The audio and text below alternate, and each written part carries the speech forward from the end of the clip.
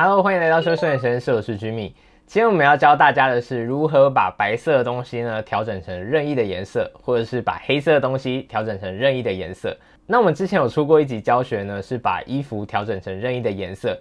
但如果这个方式呢套用到白色或是黑色，可能就没有办法处理。那我们要如何把黑色或是白色调整成其他颜色呢？这就是我们今天的教学，我们马上开始吧。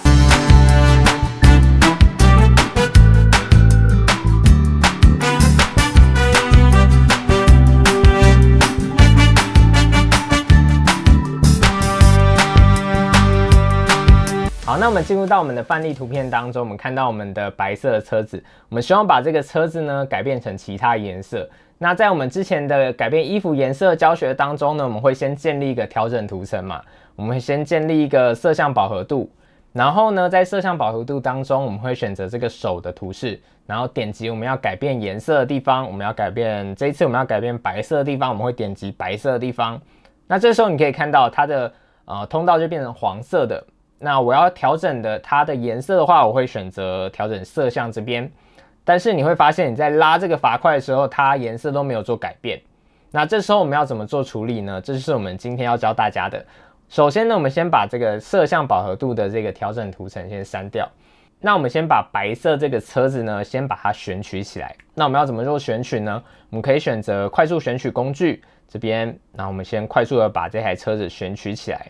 那我们不希望它影响到轮胎跟它窗户的地方，所以你在选取的时候要把这些地方都避开。那我之前已经先把它做选取了，所以我先把我原本选取好的区块先载入。那你选取完之后呢，我们再建立我们调整图层。那我们再选择到我们的色相饱和度当中，你就可以发现它在遮色片当中，它只会针对我们车子的这个部分去做调整。好，那我们把车子选取好之后呢，遮色片建立好之后呢？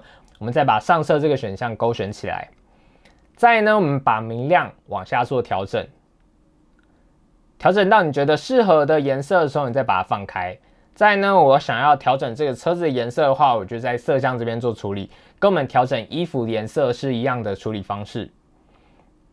好，那我们希望我要一个黄色，那再把饱和度再往上拉一点，这样子黄色的车子就跑出来了。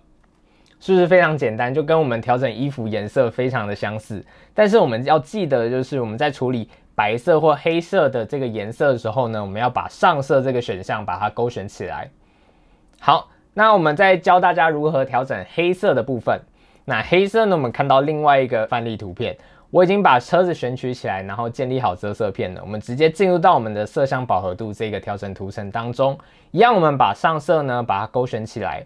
再我们把明亮呢往上做调整哦，我们把它往上做拖曳，然后调整到我们觉得适合的呃明亮度的时候，我们把它放开。再我们选择我们希望的颜色，我们这次给它一个蓝色好了。然后饱和度我们再做调整。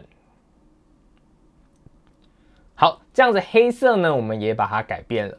这就是我们调整白色或黑色的方式。那我们来总结一下我们需要注意的步骤。首先呢，我们要先把我们想要改变颜色的地方呢，把它选取起来。再呢，我们建立一个色相饱和度的调整图层。那建立的时候，你就会发现它就会自动帮你建立一个你选取的遮色片。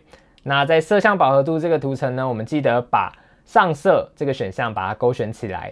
那我们再调整它的明亮。如果它是白色的东西呢，记得把它的明亮往下做调整；如果它是黑色的东西，把它明亮往上做调整。再来呢，你再选择你想要的颜色以及饱和度，这样就可以了。那我们教学就到这边。如果你喜欢我的影片的话，欢迎按赞或订阅。如果有任何问题，都可以在下面做留言。我们下一部影片再见喽，拜拜。